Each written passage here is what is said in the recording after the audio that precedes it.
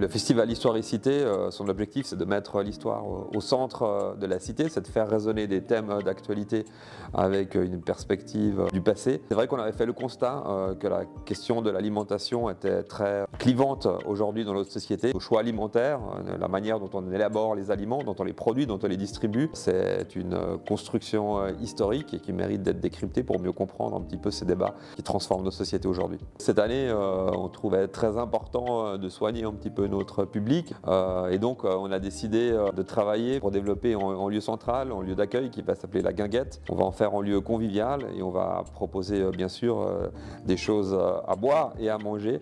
Et il y aura en apéro-conférence, de la dégustation de produits issus de la Rome antique.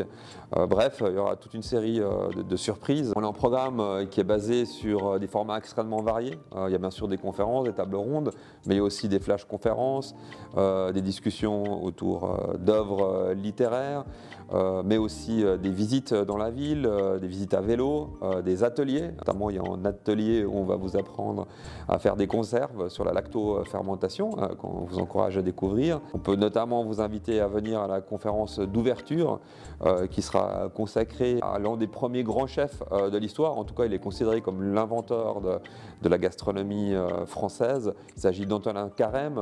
Il est célèbre pour avoir notamment inventé les pièces montées, euh, par exemple, mais aussi d'avoir inventé euh, la, toque, euh, le rituel du chef, d'avoir fait les premiers grands livres de, cuisine.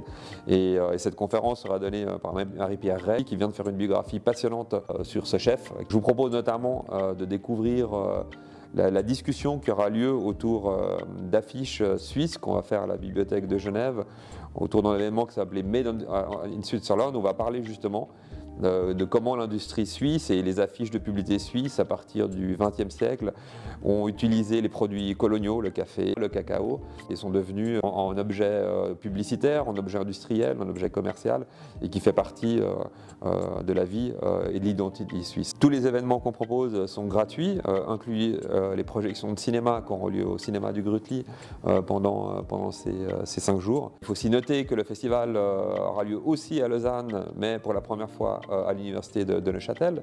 Donc on est un vrai festival roman euh, et on vous invite véritablement à venir nous voir, même pour passer un moment pour découvrir un peu ce qu'on vous propose à la guinguette et au festival durant ces cinq jours.